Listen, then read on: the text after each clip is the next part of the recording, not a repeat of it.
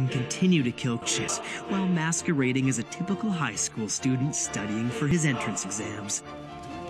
Just watch me, El.